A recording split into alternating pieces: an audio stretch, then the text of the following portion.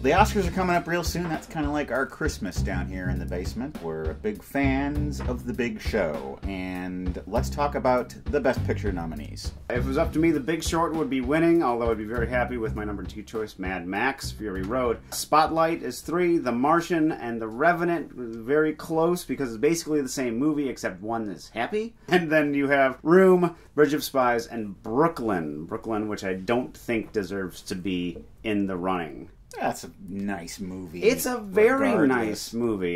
You watch the movie, you're like, yeah, you're enjoying it. And then at the end, it's like she had to choose between these two awesome guys.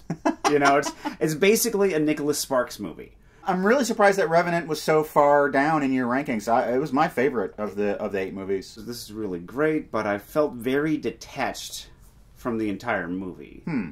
I do kind of wish that they did a Martian Revenant mashup. When Matt Damon meets up with Jessica Chastain, he exacts his revenge. I think they have this fight in outer space, chopping off fingers and there's blood shooting out. I love it when he when when he chopped off Tom Hardy's fingers and Tom Hardy went, "Damn it."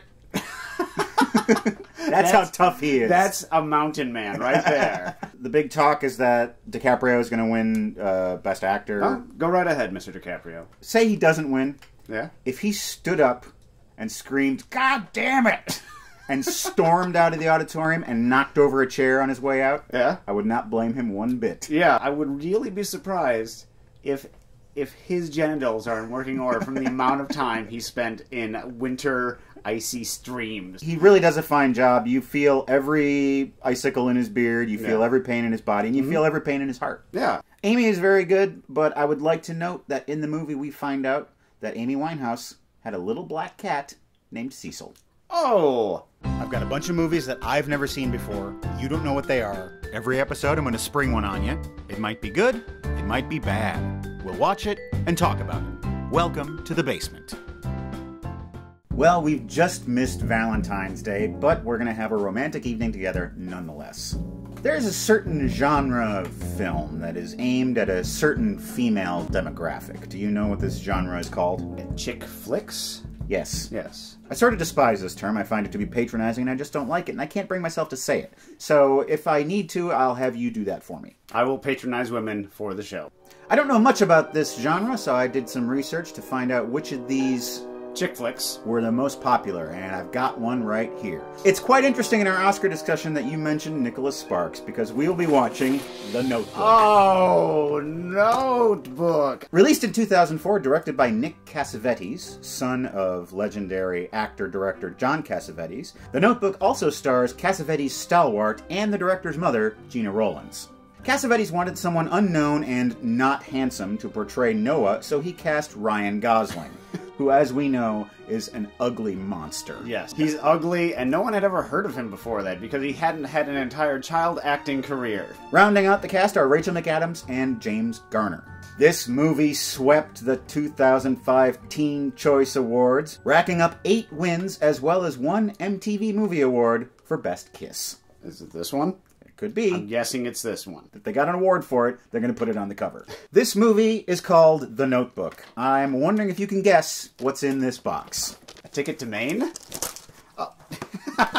it's candies. I got you. Yeah, it totally got me. Well, all you fellas and chicks, we hope you're in the mood for this Chick flick. that we're going to watch on the old leather couch today. Gear up your emotions for The Notebook.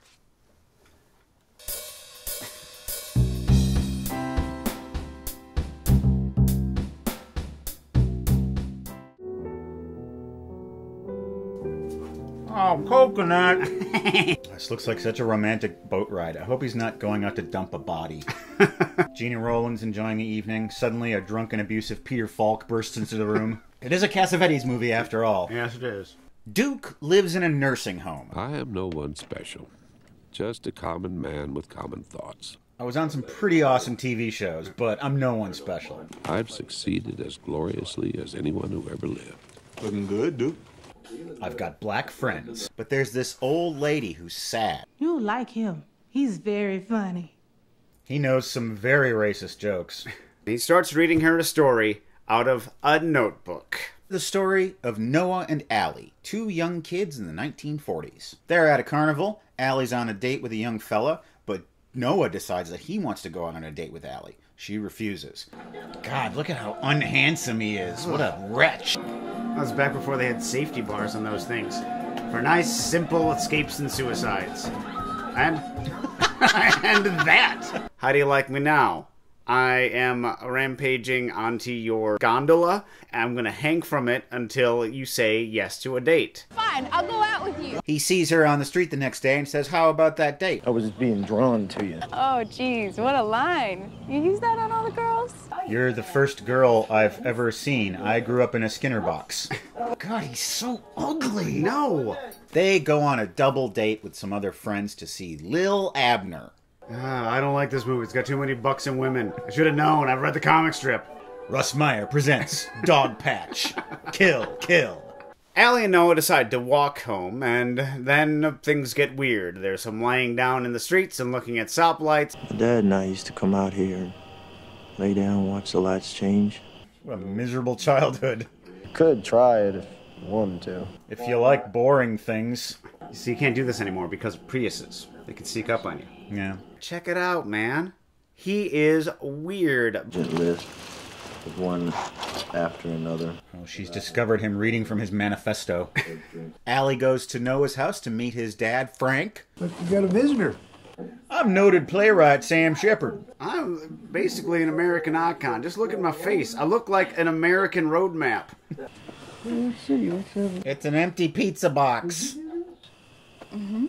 Well, that's beautiful. Snap. I was being sarcastic. They do all kinds of fun stuff together swimming. Say I'm a bird. No. I will not let you express yourself in quirky ways. That's my thing. Now say you're a bird too. I want you to regurgitate in my mouth. Allie goes home, and her father tells her, Bring him to the house or something. I want to meet this young man. I will meet this man, or my name isn't Zorro, the gay blade. Allie's family is really rich. Noah's really poor. Allie's mother informs Noah that she's going off to Sarah Lawrence University. And Sarah Lawrence is in New York. And they have no lumber yards for you to work in in New York. Sarah Lawrence has a really good lumber program. it does? Yeah, oh yeah. Yeah. Noah takes Allie to an old house. It's the Windsor plantation. He says, Someday I'm going to buy this house and I'm going to fix it up. It's going to be my house. And also, he has a more short term plan, which is losing his virginity with Allie right there in the parlor. This is good for all you young lovers out here. Let the other person undress themselves. It's a lot less sloppy. Check these out. They start doing the nasty. Don't go rampaging for the clitoris. But Allie just can't stop talking. She's nervous. She wrecks the mood. That's all right. We'll be able to do this sometime soon. They go back home. Mr. and Mrs. Hamilton finally throw down their their demands. He is trash! Trash! Trash! You should just go off to college and achieve our dreams for you. Yes, Daddy, I love him. I love him like you love mustache wax. And liquor. I'm so...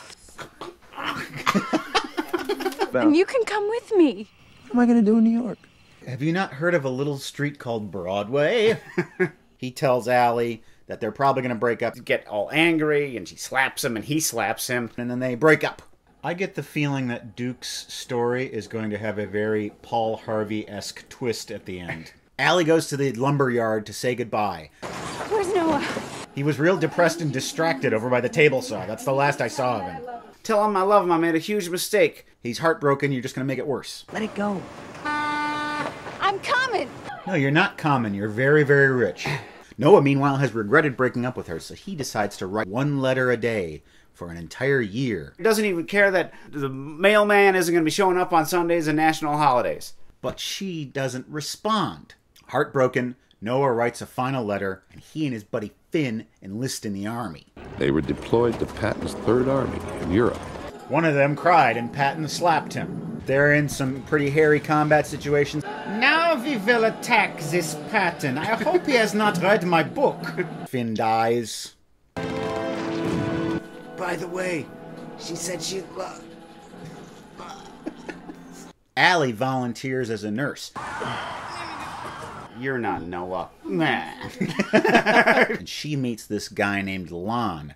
I'm all beat up, but I'm in love with you. She's like, yeah, yeah, yeah. Sleep it off, you old broken man. Turns out that once he's fixed up, he's a pretty handsome looking guy. And he says, Hey, let's go out on a date. At a party, Lon proposes to Allie, and she accepts. But for some reason, she just can't get Noah out of her mind. Noah, meanwhile, has returned from the war. Come on, there's something I gotta show you. I just wrote this weird play called Cowboys Number Two. What do you think of it? and his dad informs him that he sold the house and he has bought the Windsor Mansion, and they're going to fix it up together. Oh, Dad, we've made a huge mistake. I've never seen this place in the daytime. Soon after that, his dad dies. Noah throws himself into his work and kind of becomes a drunk. He finishes restoring the house, and he gets his picture in the paper.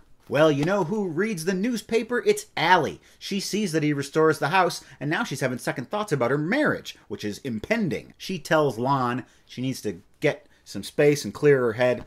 Noah and Allie are reunited. He invites her inside. This room. Remember when we didn't have sex here? I do. Every time I'm in this room, and I'm in this room all the time. This is a good story. I think you're going to make a lot of money. And the movie writes, Back in the present, we find out that Duke has kind of a bad heart. I'm Dr. Barnwell, one of the new attending physicians. We haven't met, so I thought I'd examine you myself. want to get my finger up that ass of yours. And deep breath. You know, I restored a house once. Oops, you weren't supposed to find that out until later. And that old lady has dementia. She don't remember things. Perhaps important things? Oh, I do wish I could figure out the end of this story. I wish I couldn't figure out the end of this movie. You know, I think I'll run on up and take my afternoon nap. Thinking of he's working on my appetite. Looking forward to a little afternoon nap. Sky rockets not in flight. Afternoon nap. Oh, afternoon nap. Back in the 40s, Noah? Noah? Noah. What? Now I'm sad. Yeah. Noah and Allie go out for a boat ride. And he takes her out to look at where the geese go. I like to come out here and drift a- amongst my namesake. Take a gander at them. and if you'll stand up and turn your back to me, I shall give you a goose.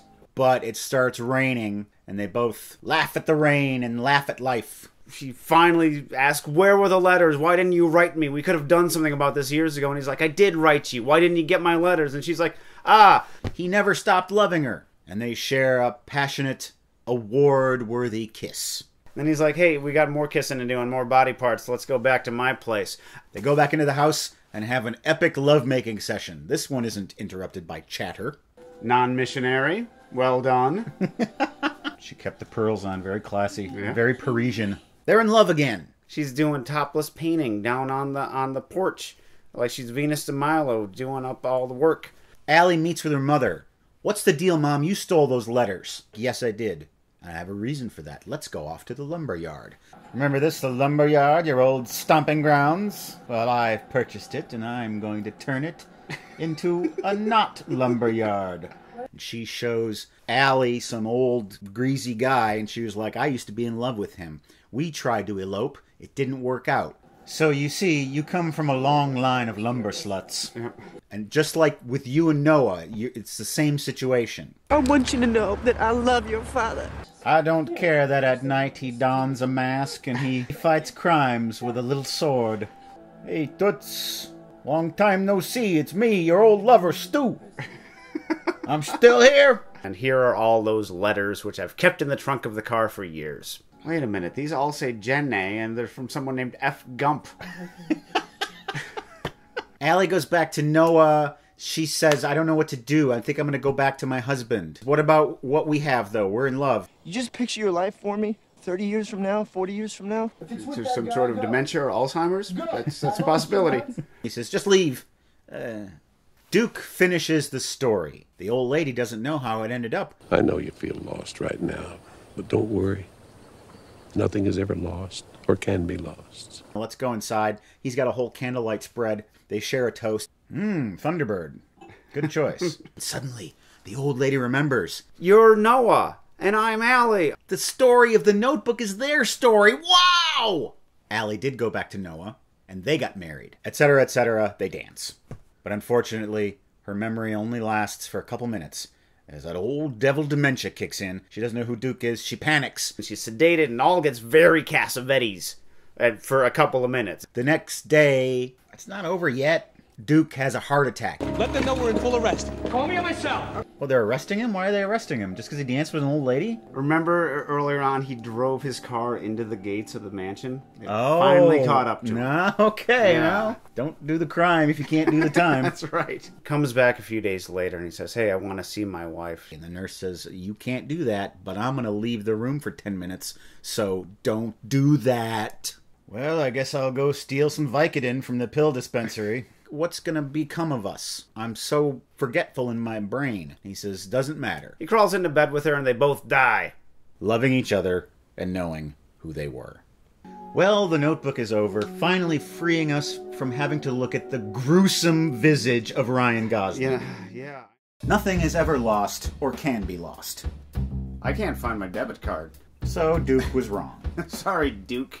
I think he's talking about memories and a love. Yeah, and the magical world of the notebook where you can just snap out of Alzheimer's disease for a few minutes, uh, you know, every few weeks. Uh, that's that's great. Do you think that this was authentic? I don't really don't think anyone would dress like Ryan Gosling dresses in the 40s, even around the house. I thought the dialogue was didn't even make an attempt to mimic the time. Yeah. The war just seems like something that happened to the boys. The death of Finn has nothing to it happens and then there's no no mention of it, it affects nothing. It's just there because that's a dramatic thing to happen. But the romance is there. This was a good movie, mm-hmm. but not a very good story. You know, very shortly into the thing, that Duke is Noah and she's Allie, and then you just gotta wait for it all to play out. You know the mother's gonna interfere. You know to, she's gonna eventually get the letters.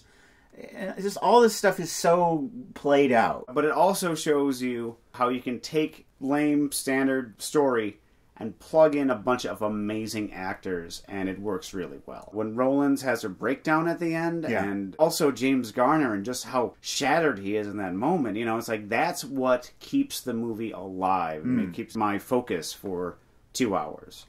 Or most of 2 hours. It does go on about 10 minutes too long. Best Kiss 2005 MTV Movie Awards. I think the downpour was doing most of the heavy lifting there. Normally, for our Valentine's Day episodes, we watch tragic romances. I thought we'd have a little change of pace here. And did we? They both Romeo and Juliet at the end of the movie. They both croak it. Yeah, but Romeo and Juliet would not be tragic if they were both 80 and dying of old age. After a full life together. Yeah, yeah. It had the wrong ending. I was really hoping that the twist ending would be that Lon was there reading the notebook and being like, This was the life you chose because you were never happy with me. So I'm going to tell you, Allie, that you chose Noah. That's a great and ending. to make it even darker, he could have been like, Yes, and I'm Noah. that would be taking it too far. But. I, I think that is um, a more romantic ending where it's like, yes, you got the life you wanted. I'm giving it to you every day.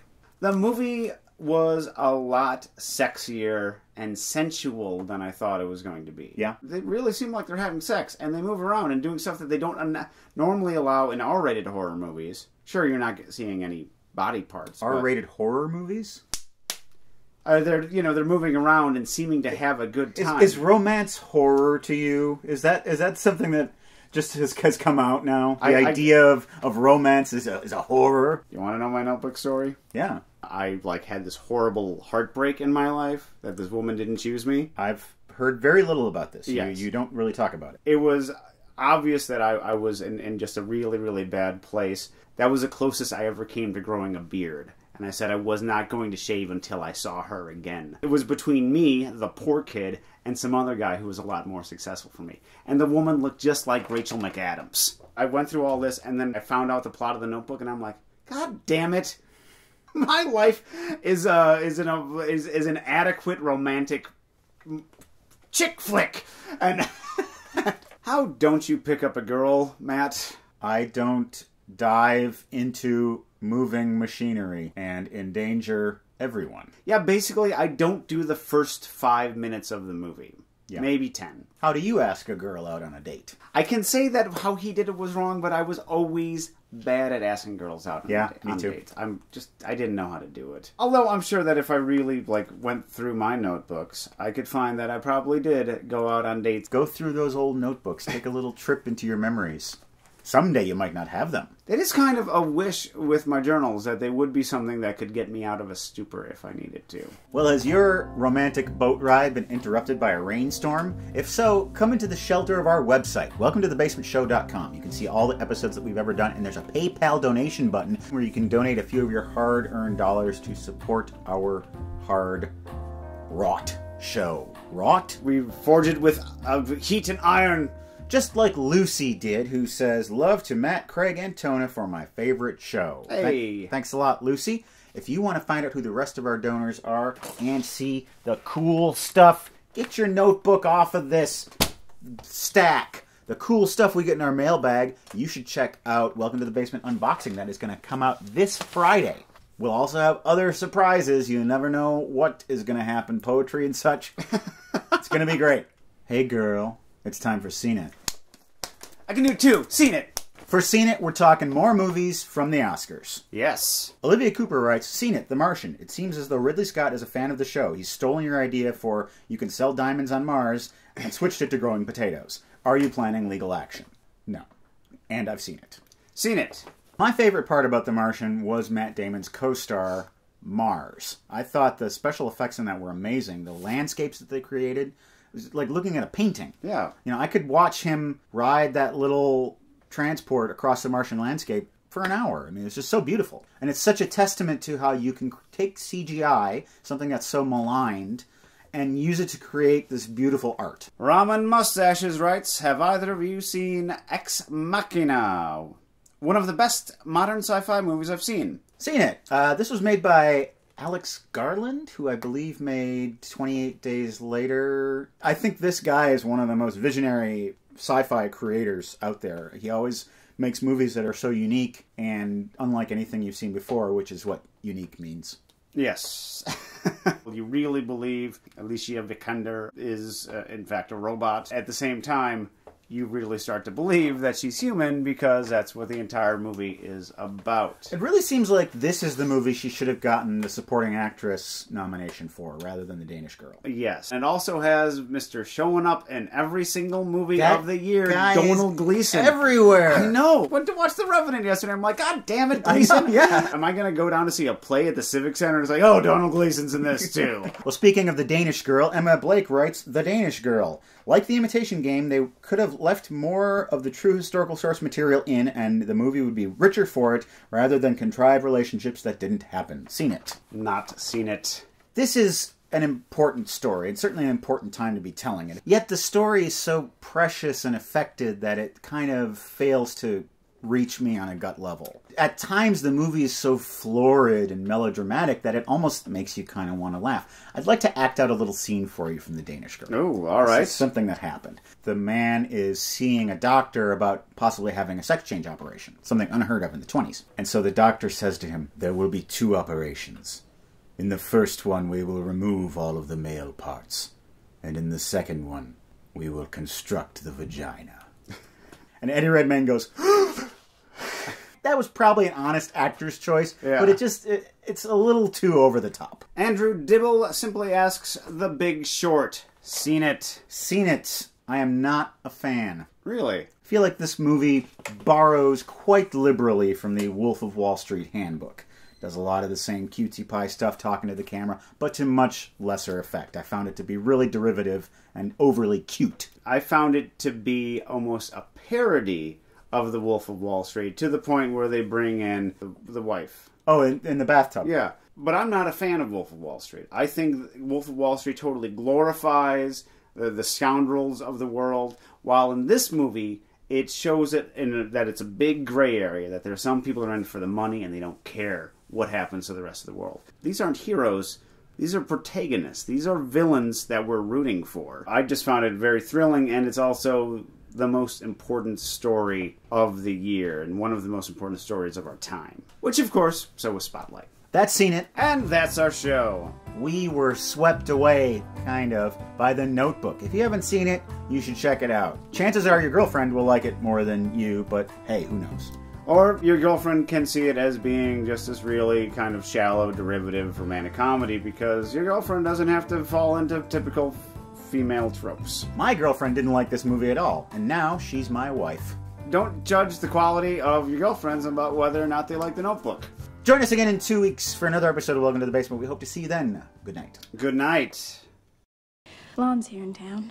Is he in that package you're holding? I've never met him. I don't know how big he is and how foldable. He could be like Flat Stanley. You remember Flat Stanley. he used to work at the lumber yard. He would run between the sheets of plywood. Yep. He used to be Fat Stanley until that accident happened. I've succeeded as gloriously as anyone who ever lived.